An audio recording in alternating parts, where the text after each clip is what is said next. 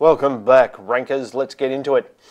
Some disturbing news on the proposed Australian internet filter this week, and I, for those of you playing at home, the Australian government is planning to introduce a mandatory internet filter that will be placed at uh, ISP level, so that every packet that Australians download will be checked against a blacklist, and if that uh, address matches the blacklist, uh, something on the blacklist, then of course you won't be allowed to go to that site.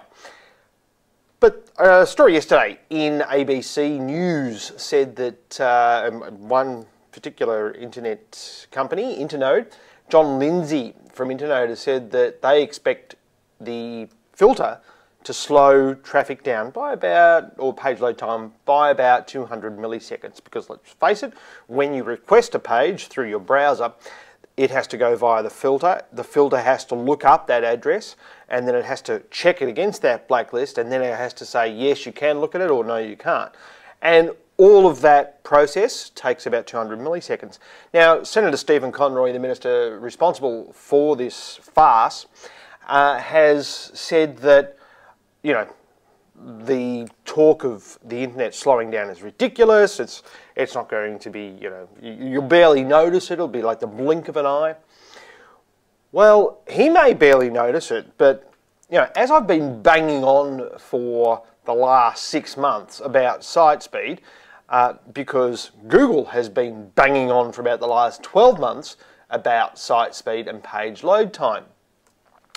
And I just did some quick calculations yesterday on uh, my blog, Jim Boot blog, jimboot.com, and basically what Google told us last year, or actually back in 2006, was that when they did a study, and this is the, a report from um, Google's announcement back in 2006, they found that if a page took half a second longer to load, it would add up to a 20% drop in traffic. That's a 20% drop in business. So if a page is taking, say, about another quarter second to load, then presumably, and I, we don't know the scale of this because we have no one's run the test, but presumably it's going to result in about a 10% loss in business. Now I don't know about you and other, and, and other business owners you might know, but a 10% drop in business is significant. So, I mean, and, and this would go across the whole of the Australian internet industry because it's not just whether you have an e-commerce site or not. It's whether someone decides to hang on and wait for that page to load before they hit the back button um, and pick up the phone. So it, it's not just e-commerce sites we're talking about. It's productivity. You think about how much time your staff or your company spends online and you add a quarter of a second to every page load time. What is that going to do to your productivity? So these things add up, and as Google knows, and why Google is so big on, on site speed now, is because it actually relates to business revenue. So for every half a second, a 20% loss in revenue. So it may seem uh, insignificant to Senator Stephen Conroy, but I would respectfully suggest that he doesn't know his ass from his elbow when he's talking about internet commerce, site speed, and how people use the internet. And that's what this is all about. But enough about that for today. I just wanted to show you a couple of things. A lot of people get get a bit uh, upset when they can't work out what the hell Google's up to or, or, why things won't happen they and why they get conflicting things happening in Webmaster Tools versus Google Analytics and all these other tools that they have out there.